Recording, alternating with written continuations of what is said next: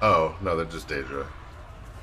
Oh god, it, it, it does seem to summon three of them. Oh, jeez.